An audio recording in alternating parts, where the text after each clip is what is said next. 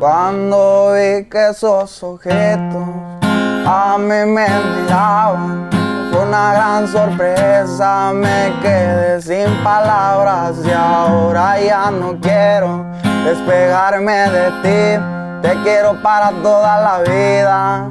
Y si es así, hago todo lo posible para que esto sea eterno. Y para que nunca, nunca nos soy capaz de darte mi vida. Y sé que tú también